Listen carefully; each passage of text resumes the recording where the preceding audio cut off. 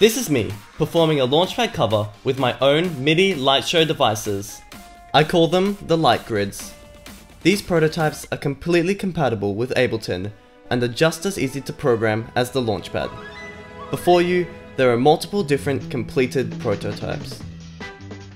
These devices are full RGB LED grids that are far brighter and more evenly lit than the Launchpad and similar light show devices. In this video, you will see the steps that I took to build these devices and exactly how you can build one yourself. Each one costs about $50 to make, more than $80 cheaper than the Launchpad MK2, Novation's popular MIDI controller. In the description, I will provide the link to the Arduino project, which is a modified version of Martiazzi's Underlights code. In this program, you can adjust brightness and program the light grid in any way you like. These devices have been designed to be as customizable as possible. Before I get into all the functions that this device has, let's go back to the beginning, when I first started designing the light grid.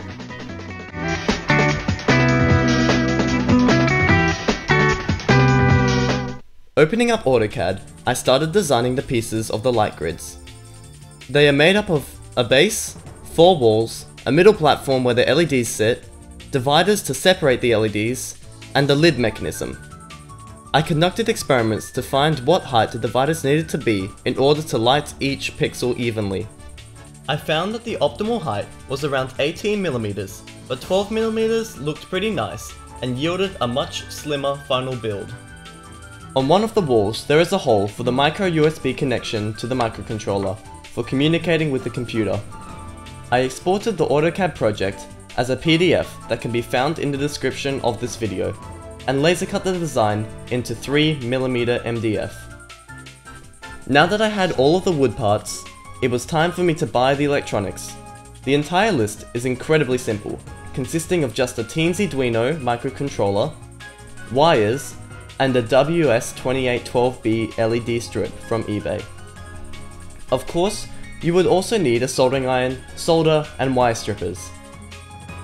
Gotten back from printing the pieces for the Light Grid Mark II. Here's the Mark 1, which is a 10x10 grid. And here are the pieces of the Mark II with a very fancy lid and all this cool stuff. This is my actual launch pad, this is the knockoff, and I will just assemble it right now.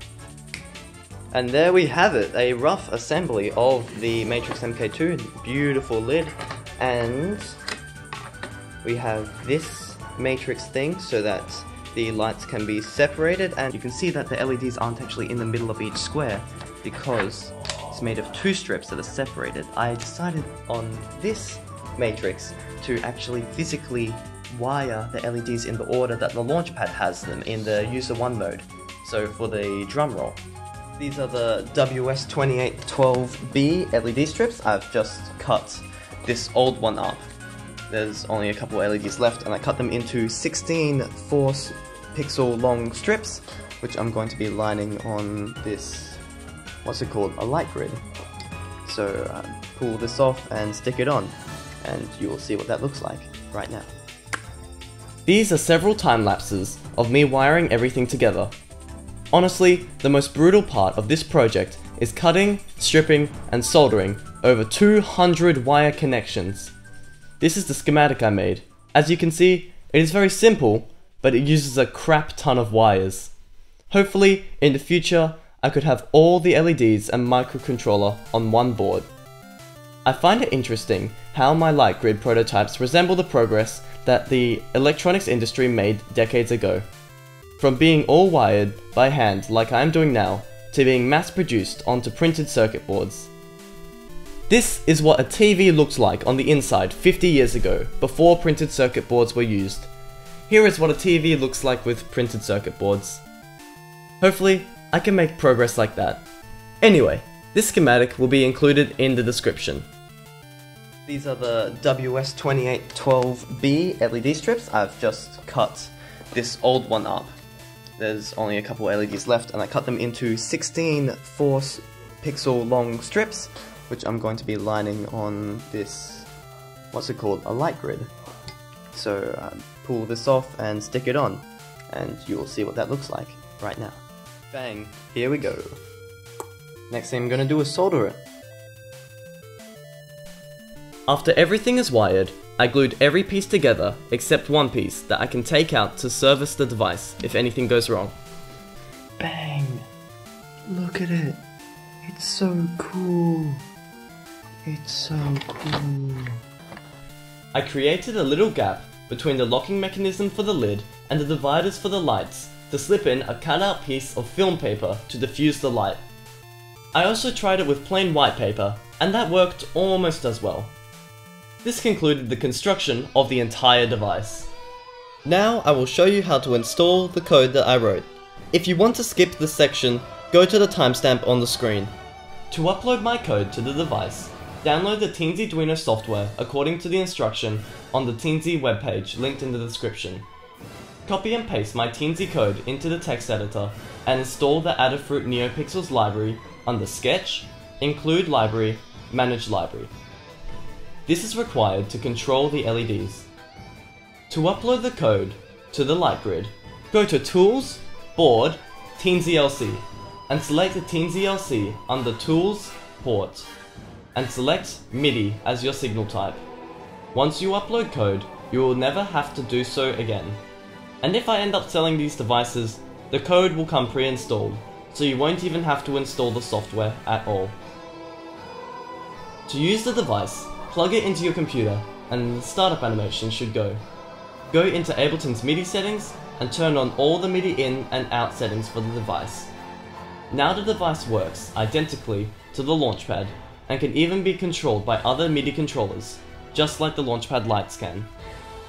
Now, to show you how incredibly sick these light grids are, I created this short snippet of an upcoming Launchpad cover for you guys.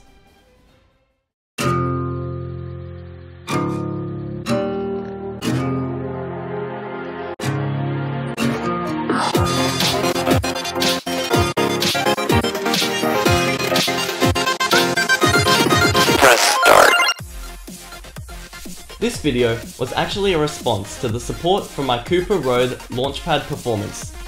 That video achieved the view goal that I set in the comments, and it was Spinzex that reminded me that the goal was met. Instead of making a video about these 10x10 grids, I decided to make a second prototype of the light grids, and make a video about them instead. I had an incredible time designing, manufacturing, and programming the light grids, and sharing this journey with you guys. I highly recommend starting random projects like this yourself, no matter how inexperienced you are. Before I started making these devices, I was an inexperienced programmer and had no electronics experience at all. But after watching a crap ton of YouTube videos, talking to friends and helpful people in the Launchpad community, such as Matiyatsi and Lumin, I learned super useful skills that I will hopefully use for future projects. Please contact me if you have any trouble making something similar, or if you want to work with me to make other cool LED devices. My Discord is NoahTunes Launchpad, hashtag 6791, and I am always open to talking about projects. This has been NoahTunes Launchpad. Make sure to click on the subscribe button and click the bell icon to be notified whenever I upload a video. Leave a comment if you want, I make sure to read all of them. Thank you so much for watching.